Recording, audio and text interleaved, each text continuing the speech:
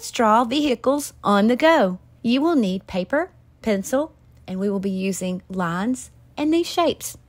Draw what you see and press pause if you need more time to draw. Are you ready? Let's draw.